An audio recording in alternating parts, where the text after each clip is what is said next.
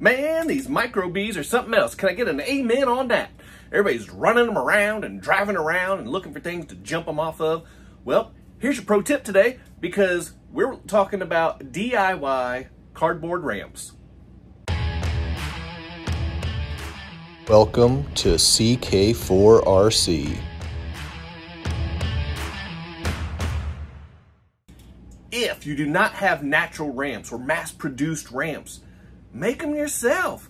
Take a cardboard box like so. I think it's pretty safe to say that we all have a lot of cardboard boxes laying around these days. Mark a line somewhere on this plane, mark a point somewhere on this plane, draw some lines, use a ruler, draw some lines, and then, so if you mark, if you have the equal distance on this side and this side, that should give you a 45 degree angle on both, both sides. If I remember the Pythagorean theorem correctly, that's what it is. And then if you use different measurements on this side and this side, then you should have different angles to jump off of. So let's test my middle school mathematical skills. Got my good old angle finder right here. Let's get it set, zeroed. Come on now, zero. There we go, got it zeroed. Here we are.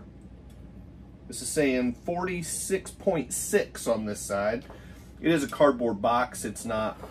And then this side is saying 46.6. So it's actually, the angles are actually the same. And then over here on this one, we've got a good, got a cool 35.1 launch degree, launch angle. And then this side, probably gonna be tough to jump off of. Uh, it is an extreme 56.1.